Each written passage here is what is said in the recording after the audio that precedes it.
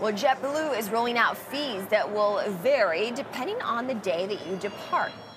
The price of a first check bag now ranges from 35 to $50 under a recently revealed fee structure. Prices range from $35 for off peak dates to $40 for peak dates. And it's offering flyers a 10% discount if they choose a check bag when booking and 24 hours before check in. Well, during off peak dates, a check bag will cost $45, and during peak dates, uh, we're talking 50 bucks.